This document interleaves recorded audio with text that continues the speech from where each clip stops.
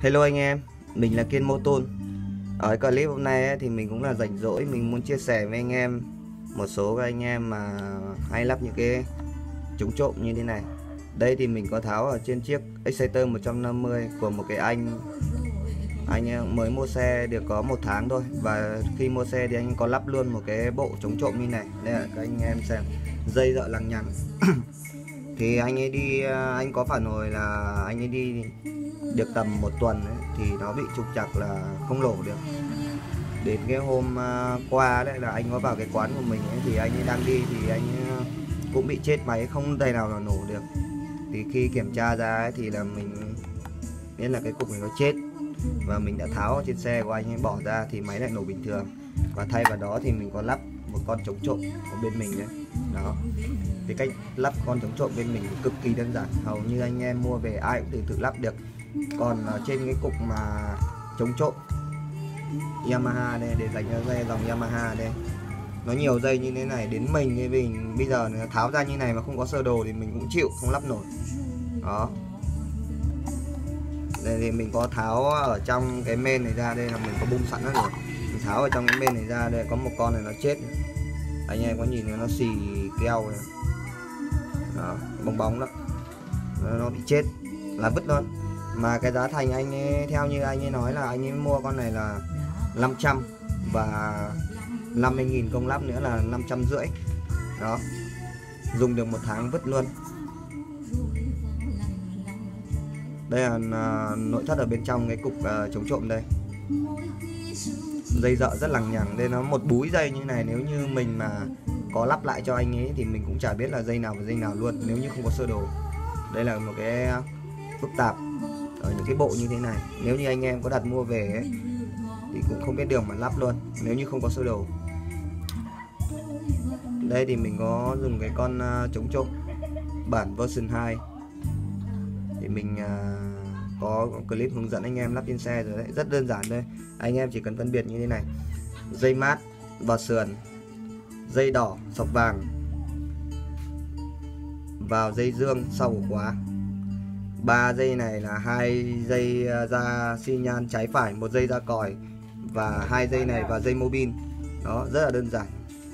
Anh em có thể à, tự lắp, tự làm được trên xe. Quá đơn giản luôn. Không phải phức tạp. Như cái bộ này rất là phức tạp này nếu như anh em mua về mà mất sơ đồ thì chịu, không thể đấu nổi. Mà cái độ ổn định nó không là cao, không cao anh em nhé. Mình phải khẳng định luôn là cái bộ này của mình hầu như không hỏng. Mình khẳng định luôn là không hỏng.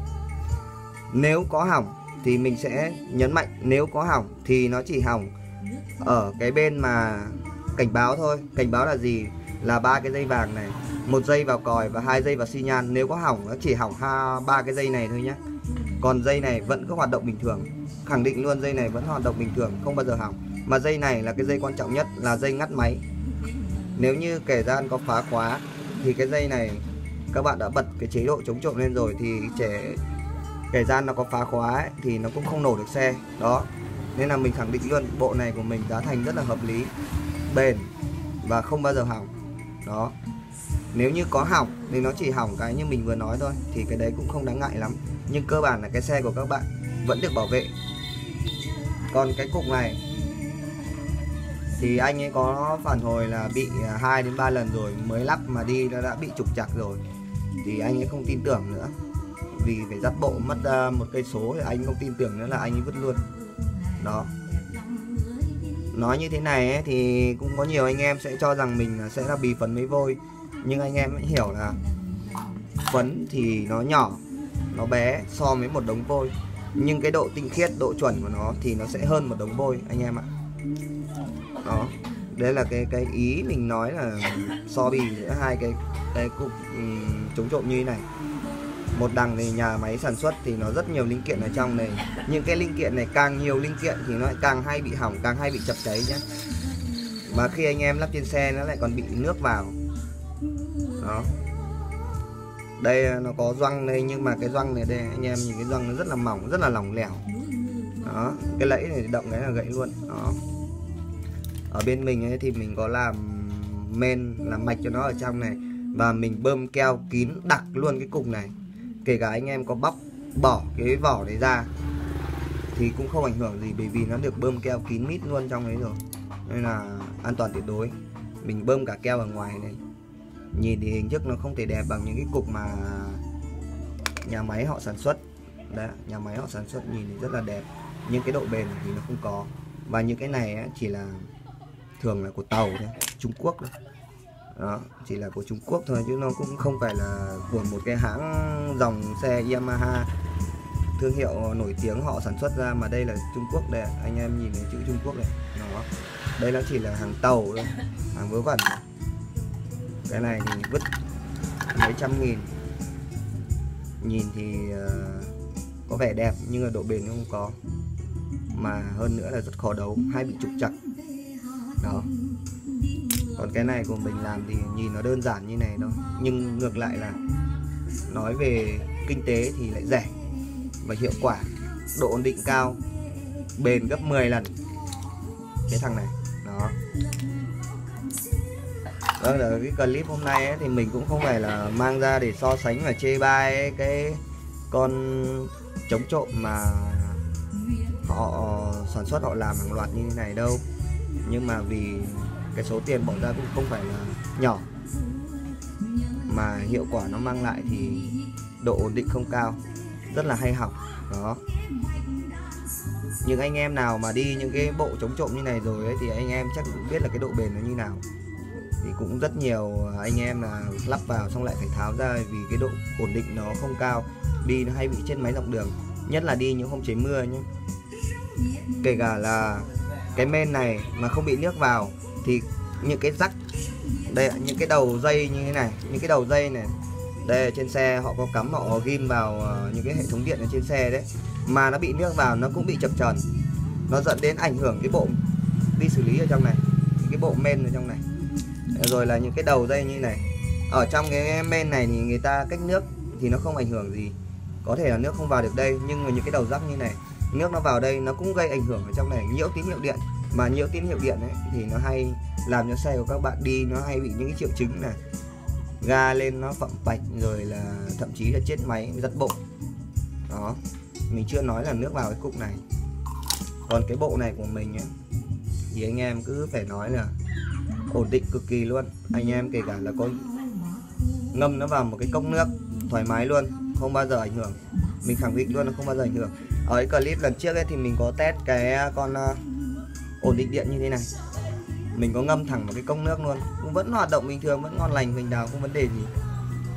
Đó.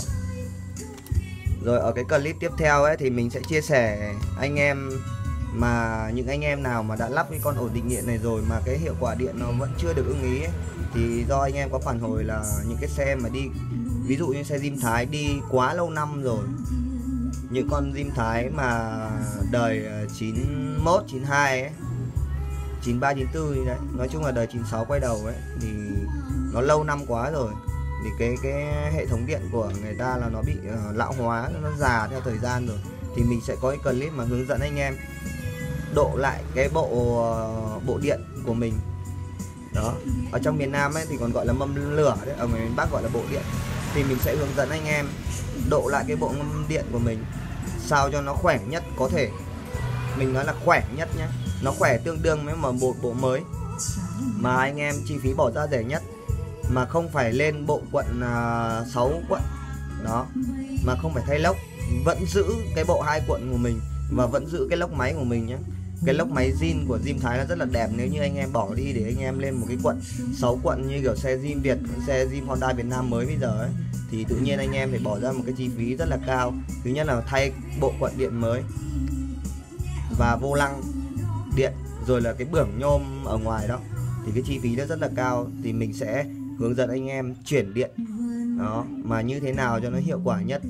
Bài đọc luôn anh em ạ ở trên uh, YouTube này mình có rất nhiều những cái clip mà uh, xem các anh em khác hướng dẫn để lên sạc lên chiếc các thứ đó.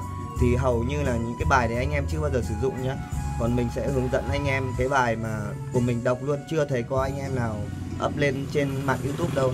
Anh em hãy chờ nhé một ngày ngày gần đây nhất thì hôm nào rảnh rỗi thì mình sẽ hướng dẫn anh em làm.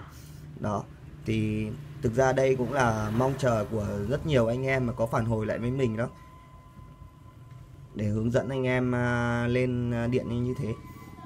Ok, xin chào anh em. Mình là Kiên Motun rất chân thành cảm ơn anh em trong thời gian vừa qua đã ủng hộ mình và đặt hàng bên mình và sử dụng những cái mặt hàng ở bên mình. Anh em có phản hồi là độ bền rất là tốt, hiệu quả, giá thành thì ok. Vâng xin chân thành cảm ơn anh em. Mình là Kiên Motun xin chào anh em.